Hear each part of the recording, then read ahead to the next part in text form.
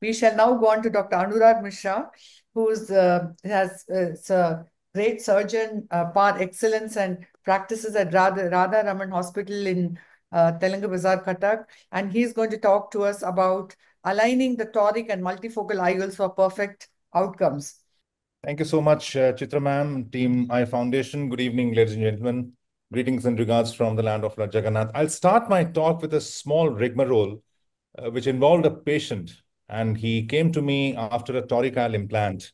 And uh, he had no particular complaint and just come to me. He had just come to me uh, just like that. It's like some tearing, watering, some itching, some sort of uh, uh, trivial complaint was there.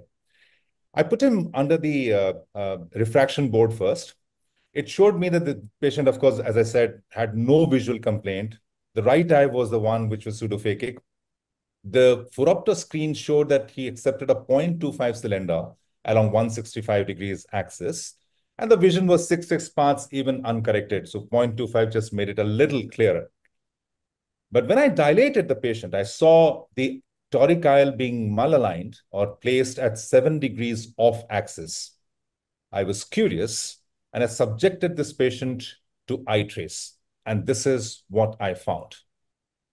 The top left-hand picture will show you the DLI scores when there has been no glass correction. As you can, as you can see, the glass sign has been, the spectacle sign has been put across on. Although the internal plane shows a DLI value of perfect 10, you can see the distortion that's there. Down below, when the glass correction is being placed, the distortion is gone completely. I've intentionally not hidden the name of the patient right on top right-hand side corner, as you can see, so that you get to know that it's the same patient I'm talking about and not doctored the pictures at all. If you go to the MTF screen, same patient, the MTF value, look at that. It is crossing the critical square. The, the value at 10 cycles per degree is 0.137 in the corneal plane and 0.170 on the internal plane. But when we are correcting it with glasses, the MTF scores also increase. What it means is even with a 0.25 cylindrical residual, we say that 10 degrees off axis uh, alignment is what is important or what is significant. But even below that, it can cause distortion of the imagery, even if it doesn't reduce vision per se. So here is what is important. We have to align the toric IOLs exactly along the desired axis or the axis that has been told to us by the IOL calculator. How do we do that? we ensure a proper alignment first, and then we ensure that there's negligible post-implantation rotation. How do I ensure that I, it is a proper alignment? The first thing to do is to register the eye, and I use an image guidance almost exclusively. Why I'm speaking of image guidance is because people think that if you manually mark, you're likely to go wrong. But the moment you install an image guidance machine in a setup, you're completely foolproof and you're likely to hit the target bang on 100% of the time. Doesn't happen always. Look at this screen now. This is a perfect eye which is being registered under the microscope and the registration is failing. This can happen even if you have selected the right patient and the right data has come in, the registration can fail due to several reasons. What you do then is you just align the axis negatively by one or positively by one. This gives a signal to the machine that you're trying to override its automated registration system and it goes to the manual mode and then registers the eye. This is just one trick. This can happen to everybody. I minimize the use of viscoelastic. Not only do I hydroimplant all my IOLs, but the other tip I use is the IOL is brought right next to the tip before it is implanted. So the IOL is right next to the tip of the cartridge. So that very minimal viscoelastic is left even in the cartridge beak. The moment you lift the uh, or uh, uh, leave the IOL inside, the viscoelastic that is there, which is minimal in quantity as it is, gets, gets washed off with the fluid current. However, when I use IOLs, which are not exactly truly hydrophobic, meaning the water content is slightly more than 1 to 2%, as in this IOL, this tends to be sticky. These IOL surfaces tend to be sticky and they adhere to the viscoelastic more. So what I do is, after implanting them inside the bag, I just rotate them clockwise and counterclockwise a few times before aligning them along the axis so that all the viscoelastics are washed off. I don't need to use aspiration per se, just rotate it a few times so that the viscoelastics get washed off. When we align the toric IOL in using an image guidance, there are three things which we should notice or we should ensure. Three messages that come in the image guidance. One is a parabola that comes on the left-hand side, as you can see here, and there's a ball that is, that is traveling throughout the length. This parabola tells us that there is 18 degrees of cyclorotation being compensated for. That's what the image guidance can do. The cyclorotation is more than that, the ball will disappear and you know that you're not aligning it properly. Number two, the IOL has to completely unfold before you align it. If it stays scaffold, I mean, if it stays scaphoid, then the alignment is not proper. Third, down below, there is a message called tracking OK. The other message that sometimes comes is center the eye. We tend to miss that. We have to ensure that the message comes in is tracking OK. Only then you know that you are along perfect axis. Let me give you an example. Here is a case where the alignment axis is 173 degrees and the ball is in the parabola and the message down below is tracking OK. I try to align it. By aligning, in the process of aligning it, what I miss is the ball is actually attempting to go out of the margin. It's gone out and look at the axis. It's shifted, it's changed, but that's not the proper axis. So I get bewildered. I, I miss the point that the parabola is not having the ball right now. I rotate it back, which is actually not the right axis. Then I remove the two instruments from the eye. The eye comes back to its original position, and we get to see that the axis is shifted back. Now the ball has come back to the parabola. So it is so very important to see whether the ball is there in the parabola, in the parabolic uh, uh, premises or not. Because when we introduce the irrigation cannula, accidentally, inadvertently, we actually also induce some amount of cyclotorsion without it ever coming to our notice. All our focus is on the IOL. Here is a case wherein the axis, despite of everything happened correctly, it is 178 degrees. My, my uh, uh, incision is 180, but the axis is shown elsewhere.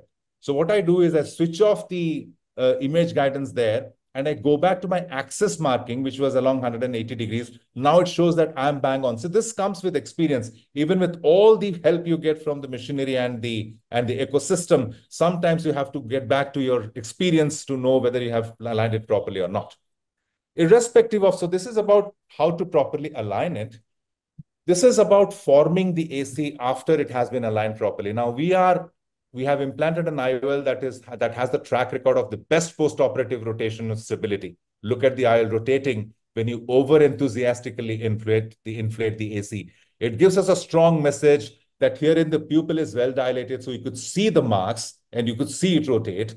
But if the IOL would have been, the pupil would have been any smaller, then it would have been hidden. So it is very important for us to realize that the AC should be formed just to make the globe turgid and not overinflated at all.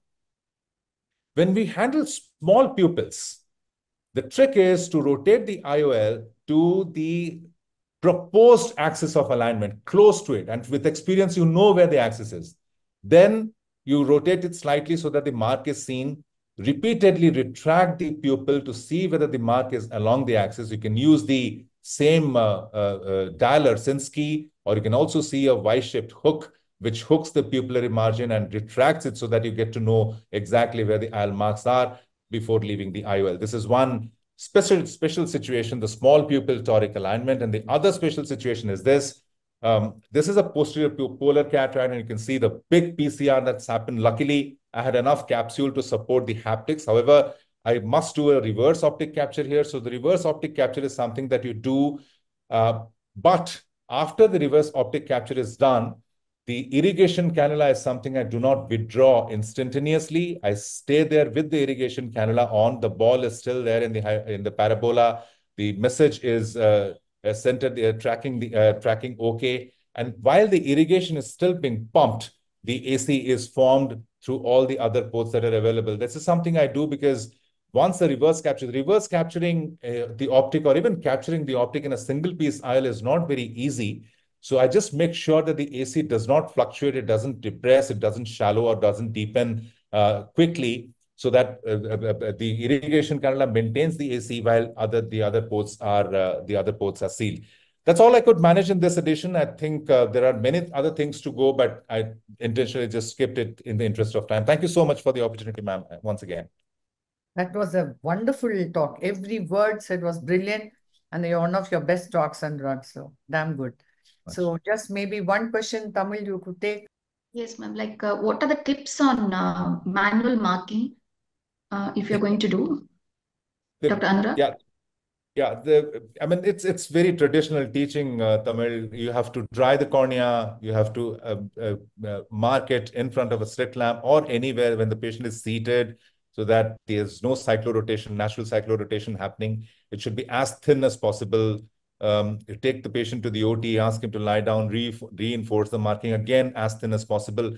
But in my experience, no manual marking uh, actually, I have not been, it's not worked in my hands properly. It's, no manual marking I have been able to produce, which is not fudged and which is as thin as the image guidance. So um, uh, sometimes it is wider than is desired. Sometimes the uh, the marks on the proximal and the distal uh, parts are not along the same line. So one of them is aligned, the other is not. You know, so the parallax is more likely to happen. So uh, these are the things. But talking about tips, yeah, they should be as thin as possible, bang on opposite. And when you mark it uh, on the table, the uh, Purkinje image should be right at the center of the hole uh, when you mark the, uh, the alignment axis. Dr. Rohit, would you want a question to ask a question? Yeah, Dr. Anurag. Uh, yes, sir. Good. The DLI score was, how do you explain that with minus 0.25? You will be surprised. I mean, I, even I was surprised. I must say, sir, that the DLI score uh, objectively traced on the iTrace sometimes actually overestimates things. I do agree to that. But what it does tell us is there is an image distortion. There is an image which is not exactly clear. There is a defocus that's happening at the imagery plane. It does tell us that. Because when we... Could it be because of some posterior capsular uh, opacification? So then it will not be clearer with the 0.25 cylinder being in place. Sir. If it is internal, absolutely. then it will not go away with the spectacle correction. Absolutely. So, so very difficult to explain because uh, with the, you know with seven degree rotation, uh, it should not have been only minus 0.25. No, it depends on the toric trim, sir. How much yeah, of no, what I'm trying to say is so misalignment is misalignment would have caused you know plus minus sort of situation. Yes. Not... Yes. So for this patient to have a spherical equivalence as zero, you have to put zero plus plus 0.12 as a sphere. Yeah. Which is not available in the uh, Phoropter machinery that I use from Topcon. So it starts with a 0.25. So that's the reason maybe with the, uh, I couldn't place it. I, I tried to place a 0.25 if the patient didn't accept. Perhaps a 0.12 would have been accepted by the patient. No, okay. I was saying that uh, sometimes, even if it is below seven degrees, the measurable toricity that is there is, I think we started from 0.25. What I wanted to impress upon is, even if it is less than 0.25, which is not measurable, which we do not place as a as a correcting lens in front of the trial frame or in front of the phoropter, the image distortion could be there. This yeah. is completely, this has opened a new dimension to me. I'm trying to study more on this this is just a chance discovery that I made, and I'm trying to look more into it. But yeah, I mean, this has opened a new thing to me. Absolutely. Very nice presentation, Anurag. And uh, mm, uh, objectively, you showed that uh, 0.25, the difference it makes. But practically, we don't really see that. You know, I at least have quite a few of my toric patients who have a 0.25 cylinder left over. Optometrist notices it, but then patient is not complaining and I don't do anything about it. My tolerance for rotating lenses is very low. There is a complaint, the spherical equivalent is nearly zero, I go ahead and rotate. But then having said that, quite a few patients with 0.25 cylinder or even occasional 0.5 cylinder who had initially started with the 3.5 cylinder, and the patient is not complaining, I leave them alone. Frankly, I don't put them on a iTrace and see what is their DLI score. But then uh, I don't know whether they would be complaining a lot more if the it caused such a, a, significant deterioration. No, sir. This patient also was not complaining of anything. As I said at the beginning, this patient was not complaining of anything with regards to vision. He had just come for some watering issue or something of that sort, if I remember. So, but when we placed the 0.25 cylinder and asked him to look at it meticulously, reduce the contrast on our charts, tried to look more into it, more detailed into it. Of course, we didn't overdo it because then the patient will think that there's something wrong happened to uh, with regards to the placement of the IOL. But we did see a difference. The patient was able to experience a slight improvement in the vision quality when we, we were placing the 0.25 cylinder. So it needs to be looked at. But the point here is we should always ensure that it is aligned along the exact desired axis as has been depicted by the IL planner. Madam, one, one point he was telling about the thinness of the marking. We Yes. can use a very, very, very small uh, 20, 27 gauge needle to make a thin strip. So that will be a very thin mark. And also nowadays I've started loading the Salcon lenses under saline. So no, no uh, visco into the cartridge also. So many lenses can be uh, loaded under saline and so no visco at all to go underneath the IOL also you don't have to. The haptics don't get stuck? No, no, no. Saline, haptic, no, haptic don't understand. Has a silicone coating on the underneath, on the inner side of the cartridge, ma'am. So the passage becomes little, uh, I mean, way easier than uh, when than what we can expect from a typical hydrophobic IOL.